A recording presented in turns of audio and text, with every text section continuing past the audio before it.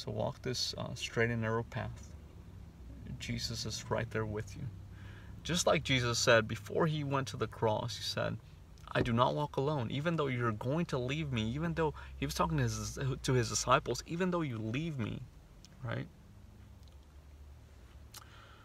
I'm not going alone, for the Father is going with me. He's been with me this whole time.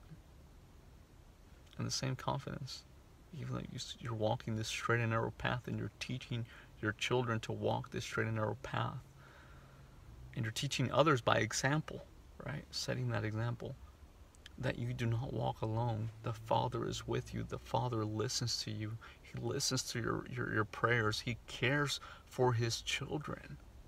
He cares for you. If He cares for the fields and, and the grass and the lilies and the trees and the birds of the air, how much more won't He care for you? Jesus bless you.